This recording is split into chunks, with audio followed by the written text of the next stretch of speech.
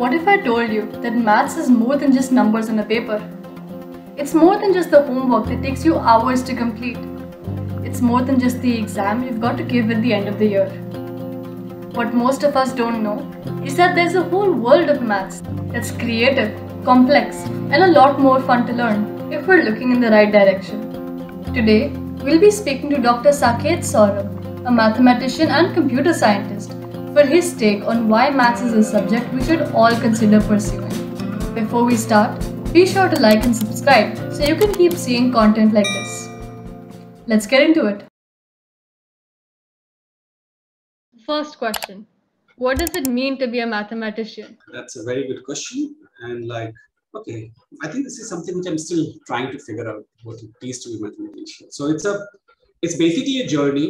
You we all start from our high school when we like something, right?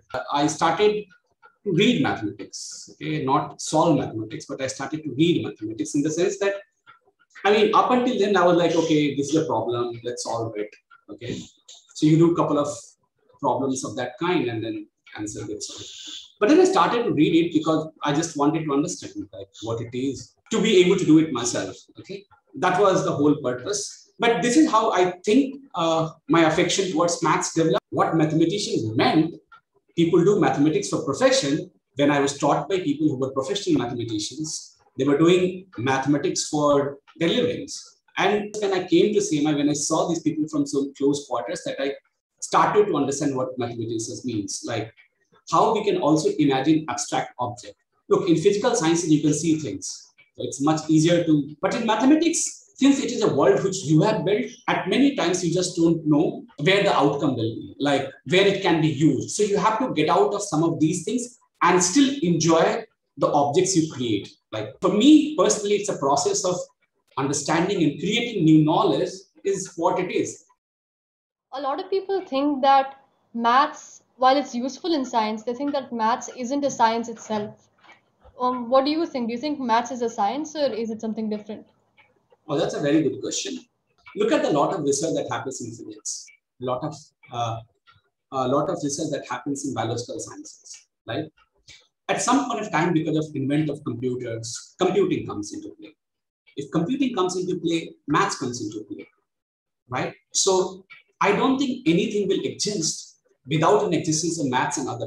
From the topmost perspective, science is just one thing, you know, like we have just divided this into maths, physics, this like as you go further up, like problem could arise in any of the sciences and you need ways. For example, uh, people started to string theory in physics. But if you look at the kind of articles they write, because in the physics they need the kind of math they need, they, they first develop those maths, apply in physics to explain the physical phenomena. So in my opinion, maths is all in nature. And it's a way physics, this, like everything has its coexistence with maths. And that is what allows us to understand nature about ourselves much better. Now, could you talk about a couple of the most exciting things you worked upon in maths in your own career? Perhaps related to your own specialization or just things that you've had um, exposure to? I'm an algorithmist or a computer scientist who does math, which use mathematics. Okay. So the one or two things which I could tell you, which I personally enjoyed, uh, uh, now I give you two abstract objects as a class and say, hey, are the same. Now we need to have a notion of what similarity means. So there's a very well-defined notion of what similarity means with the help of functions. Okay. So for what some of the special cases of this, we designed uh, some of the like the cutting edge objects or cutting edge algorithms to that, which I'm very happy about because it's an interesting algorithm. Uh, other things that what happens is that look, most times when we are doing something, it's like we try to apply heuristics Okay, what I mean, oh, this looks okay to do this. So let's do that. And, and hoping that that will lead to an answer. Okay, so we formalize some of these things in maths. So what kind of process or what kind of algorithms are there which will mathematically maintain the desire, maintain the solution. So these kind of algorithms that we design for very hard problems or difficult problems is what I would consider another important contribution that I have done in general?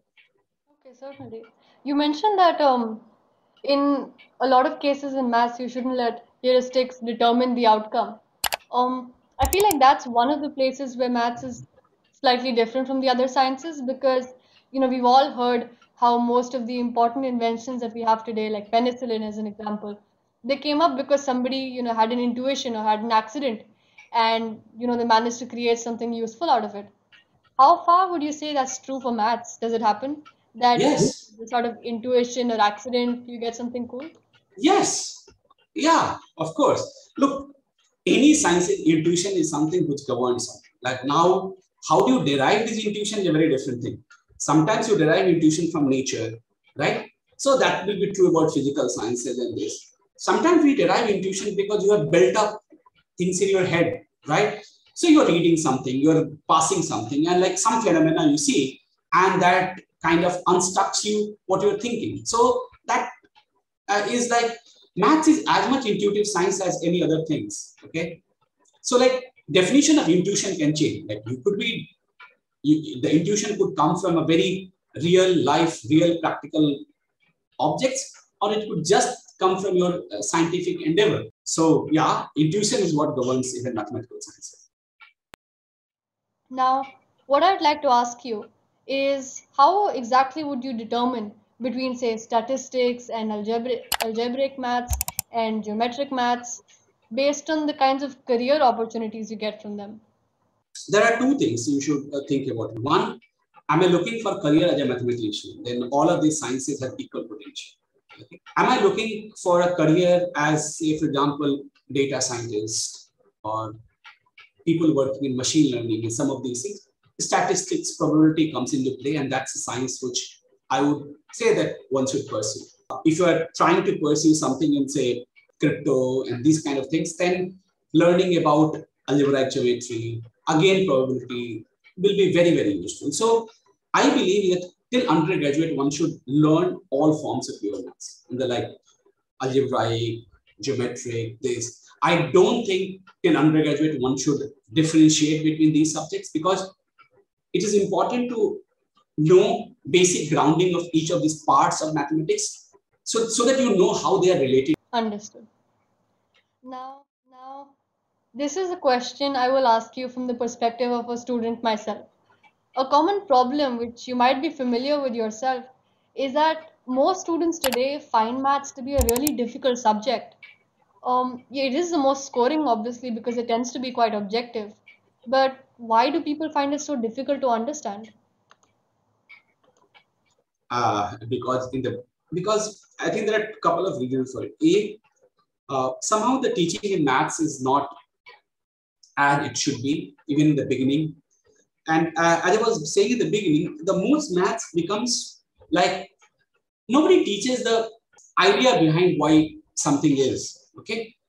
And since we are not able to find some of these things in nature around us that much concretely, we also lose interest. For example, if someone told us that 5 plus 7 is 12, right? But how additions need to be done? What is the meaning of unit? What is the meaning of, uh, like, you know, we teach 53 plus 96, let's add this, one goes there, but what it is, like, so this, there is no relation between the numbers and what these numbers represent, okay?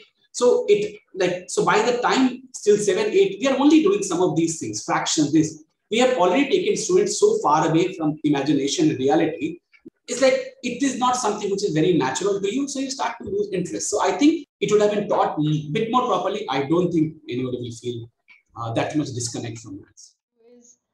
What advice would you give to students who actually want to pursue mathematics um, in their future, or perhaps even research in science? What advice would you give them? Unlike in 90s, early 90s, when engineering and technology was the was the way to go or medicine, right? Now in India, we have amazing number of science institutes like IISERs, IISc ISI, CMI. So first of all, now we have amazingly great set of basic science institute, which probably did not exist at that point in time. So that's one thing. Secondly, don't worry if you just like maths. Please go and do maths. Okay, you don't have to suffer yourself through other subjects if you are not able to enjoy. Okay, that's right. So please follow your passion and do math. If you love physics, please go and do physics. I mean, and these institutes provide you that opportunity that gives you an opportunity to learn these subjects in totality, right? So that's second thing. And thirdly, because of this great institution organization, there is no lack of jobs. If you change your mind after three or five years and you want to pursue not academia, but you want to pursue industry, job, please go ahead. There's thousands and thousands of opportunities for that. The myth that if we do basic sciences, it may not result in a good jobs, and this is no more true. If you are good, there's always a job for you. This is Scienteens, where we meet experts and ask questions that can help you make the right study and career decisions in the sciences. I do this as a fellow student, and your support through a like and subscription will give me and everyone contributing to this channel a lot of encouragement.